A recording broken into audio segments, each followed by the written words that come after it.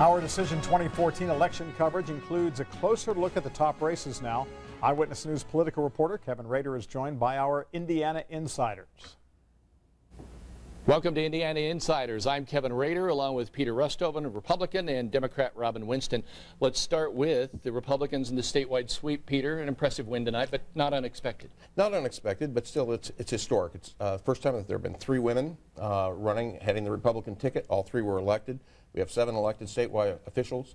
Uh, five of them are women, four of them are Republican. Not, not, not very good for the Republicans if they're waging a war on women. I think we're doing Democrats pretty good. have something to cheer for tonight, though. They had some wins in, in Marion County. Right here in Marion County, we won the job of prosecutor and sheriff, which are great uh, precursors for next year's elections for mayor. Uh, it gives our candidates for mayor and city council the ability to look around here and say, we did very, very well tonight on the issues that matter the most, and that was crime and safety. Now, we look at the congressional delegation, no changes there, nothing unexpected there, but you're, you're taking particular interest in things going afoot in Washington. Well, it's interesting. In a, in a race that attracted little interest in Indiana because nothing really changed here. Nationally, Republicans are poised to take over the United States Senate. We've, you know, uh, as of 9 o'clock, 10 o'clock, we'd already flipped three seats.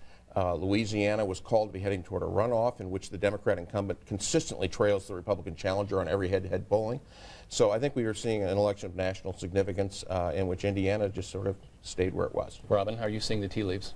Tea leaves, uh, Yogi Berra said it ain't over till it's over. It's not over with yet. We still have some elections to go, particularly in Louisiana and possibly in Georgia. And ramifications for Indiana, we're down to 30 seconds. Uh, ramifications for Indiana, among others, are that Dan Coats assumes a senior position in the, in, in the Senate, will, will, chair an important committee. Ramifications for the nation, I think, are, are even more important in that we're moving away from a path we've been on. Final words, Robin? Andre Carson was reelected tonight. Pete Visclosky was reelected tonight. Those have been tremendous All members right. of Congress. They'll continue to serve. Robin right. could have Thank taped that much, a year ago. Let's go back to the desk. And we put together an election guide on WTHR.com so you can see all the results from around the state. Click on Decision 2014 at the top of our homepage.